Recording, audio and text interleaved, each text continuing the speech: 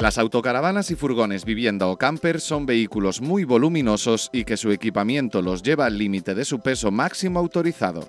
Tener un vehículo de estas características donde siempre está sobrecargado de peso hace que la suspensión ceda y su conducción no sea segura. Al instalar una suspensión por aire o neumática de calidad en una autocaravana, minimizamos los problemas de estabilidad e inseguridad a la hora de viajar con el vehículo, ya que aumenta la estabilidad. De esta manera, el vehículo no se balancea en carretera ni en rotondas.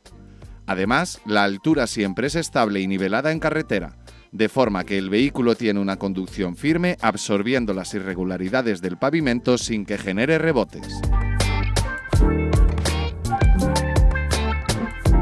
Dependiendo del tipo de carretera por donde circulemos, el conductor puede ajustar la dureza de la suspensión volviéndose más blanda o más dura. Podemos modificar la altura de la carrocería al suelo, evitando roces con el pavimento o al subir la autocaravana al ferry, parkings y garajes, cambio de rasante, caminos de montaña o lugares donde necesitemos variar la altura unos centímetros. Las suspensiones neumáticas se pueden instalar en los dos ejes del vehículo, delantero o trasero, aunque lo más habitual es en el tren trasero. La instalación de una suspensión neumática en un vehículo está considerada como una reforma de importancia. Por ello es necesario homologar esta reforma. Para ello habrá que dirigirse a una empresa como Inaga, que son expertos en legalización de vehículos y sus componentes.